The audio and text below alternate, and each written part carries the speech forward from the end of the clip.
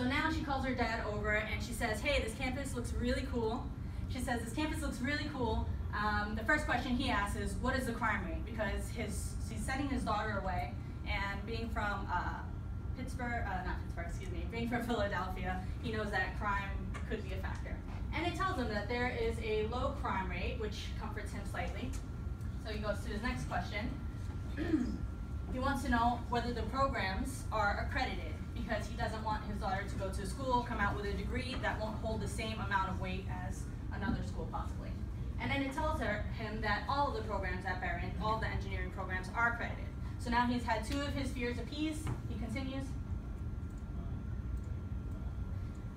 He brings his wife over and he says, hey honey, the school looks pretty good. What do you think? She says, well, how much does it cost, right? What is Behrend's tuition?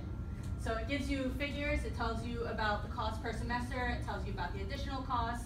Um, beneath it, there's, it's talking about, it gives a little bit of sass. Um, we'll discuss, we'll discuss the sass later. Okay.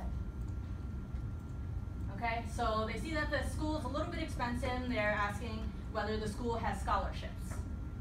Okay, so now the, the first uh, option is giving them a link to Course Hero, which is where you can start researching scholarships. So basically, they're getting lots of resources here just by asking the questions. Go ahead. Thank you. so the final questions are about the salary of a computer scientist. Okay, so it tells you that the median salary for a computer scientist is around 60, uh, 76,000, which is great. She can come out of school and pay off her own loans. And so now they just want to know a little bit about Erie because the school sounds good, but if the area is not so good, maybe they would reevaluate.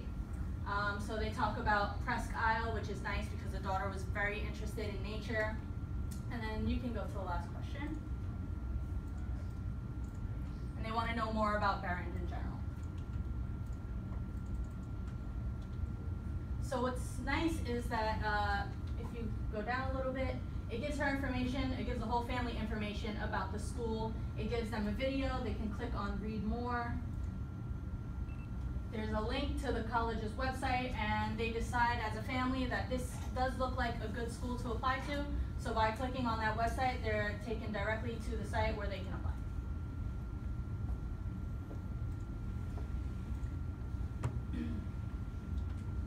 So um, in addition to asking our system questions, our system can do an evaluation of a student.